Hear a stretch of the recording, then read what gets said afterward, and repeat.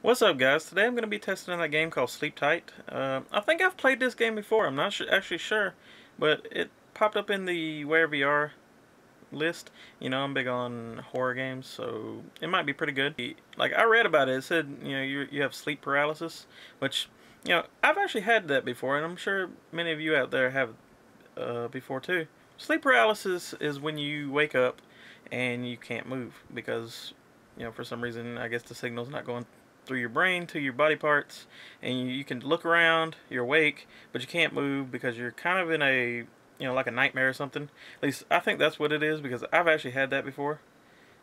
So let's go ahead and get started. Okay.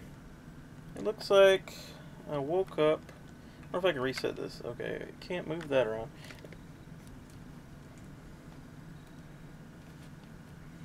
Uh, it's actually pretty dark in here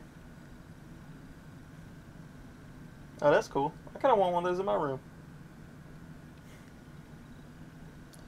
Okay, so I assume you just sit here and wait for things to happen. You can't move. What the hell was that? Oh, I'm getting cold chills here. Ooh, there's something on the floor too. That's a ball rolling across. I'm getting cold chills.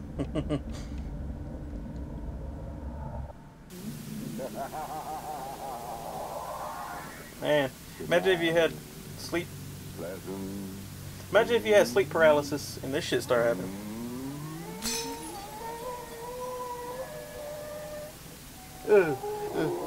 God. that that was scary as shit.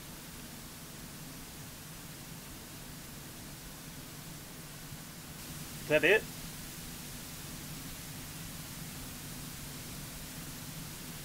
Was I disappointed in the game? Yeah, a little bit. I mean, it was a good game, but it didn't last very long. It lasted maybe a minute at the most.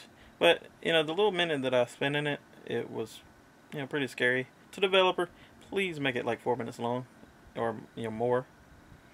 Thank you.